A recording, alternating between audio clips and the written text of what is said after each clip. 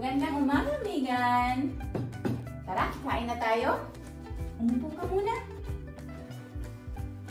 Mama, salamat pala sa pagluto. Walang anuman. Ay, pakiabot nga ng kape ko. Salamat, Megan. Walang anuman, Mami.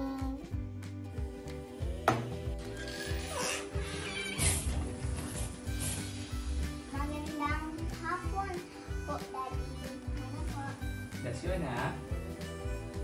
Kumusta po, po yung lakad? Hmm, mabuti naman. Ah, Megan, pakilagay naman sa ibabaw ng lamesa.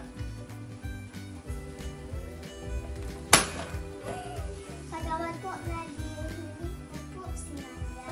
Okay lang yan, walang problema. Tara, samahan mo ko sa kusina.